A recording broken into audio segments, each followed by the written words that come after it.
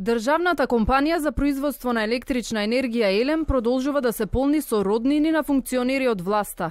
Последното вработување било подпишано за синот на пратеничката од СДСМ Мира Стојчевска, која во јавноста е препознатлива по земените 12.000 евра за патни трошоци за 6 месеци лани. Од компанијата го потврдија вработувањето. Синот на пратеничката бил најдобриот кандидат, но не е наведено на која работна позиција и колкава е неговата плата. За работното место за кое конкурирал, наведениот ги исполнувал сите критериуми наведени во огласот. Комисијата одлучила почитувајќи ги сите законски одредби.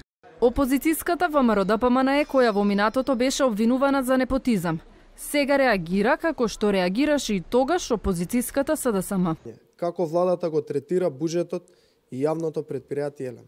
Од досега познатите факти, своите најблиски во Елем ги згрижија Мирослав Грчев, Асаф Адеми и Талат Джафери. Роднините и симпатизерите на СДСМ изминатите 10 години биле најдискриминирани граѓани при вработувања. Вака министерот за јавна администрација Дамјан Манчевски го правда вработувањето на сестри, зетовци, деца на функционерите во државните институции. За нас беше забрането и во јавен и во приватен сектор било кој што членска книжка на СДСМ се вработи. Вие го знаете тоа. Затоа зборевме за заробена држава. Денеска е чудно што било кој што е симпатизер на оваа власт, дека се вработува и во јавни и во јавни институции. Е, во да се согласиме дека повторно тоа е проблем. Каде доаѓа овие луѓе?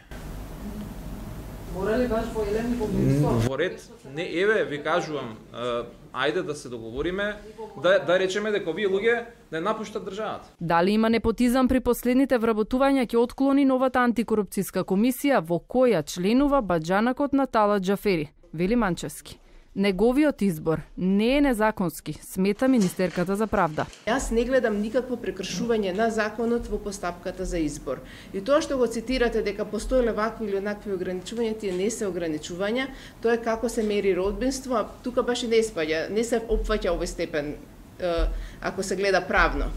И додека атрактивните државни компании продолжуваат да вдомуваат роднини на актуелни функционери кои десетина години биле дискриминирани од ВМРО да ДПМН, јавноста прашува кога ќе дојде време да се вработат најквалитетните неопределени кандидати на јавните конкурси.